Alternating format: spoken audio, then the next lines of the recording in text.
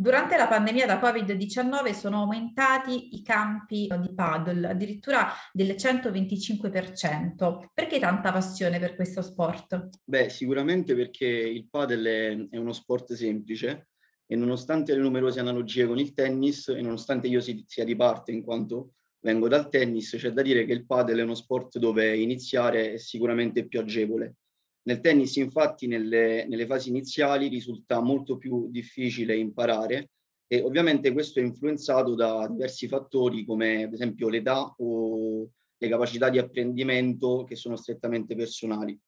Comunque nel tennis passano settimane prima di potersi avvicinare a qualcosa di simile che, che sia un match. Credo che questo sia dovuto principalmente al fatto che i campi sono più piccoli, la racchetta nel padel è molto più vicina alla mano, quindi eh, risulta sicuramente più maneggevole rispetto al tennis. E altro aspetto da considerare è che nel padel tutto si svolge in uh, pochi metri, per cui il movimento risulta circoscritto in brevi scatti e con un dispendio fisico minore. Questo ci porta sicuramente a dire che nel padel uh, tutti possono, possono competere. Ovviamente stiamo parlando di atleti amatori e non di professionisti dove il discorso è del tutto diverso.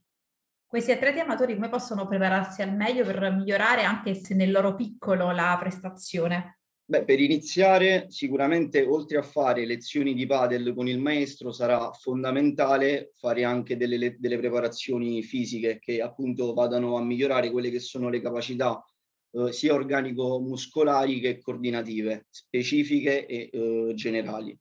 Sicuramente per iniziare sarà importante fare 10-15 minuti di esercizi di attivazione muscolare e anche di mobilità articolare, mm, principalmente avendo attenzione su quello che è il complesso articolare della spalla. Gli esercizi con, con l'elastico, ad esempio, rappresentano una, un'ottima metodica di attivazione muscolare da fare sempre in maniera bilaterale. Poi una parte centrale di allenamento che a seconda della programmazione annuale eh, vada nello specifico a migliorare una delle capacità condizionali. E, mh, nella parte centrale di allenamento bisognerà quindi lavorare sia in campo con esercizi eh, volti a migliorare quelle che sono le capacità tecniche del tennis, sia fuori dal campo per migliorare quelle che sono le capacità condizionali quali forza, velocità, mobilità articolare e resistenza. Nella parte finale invece di un allenamento sarà eh, fondamentale dedicare 10 minuti al defaticamento con esercizi di, di allungamento muscol muscolare sia attivo che, che passivo.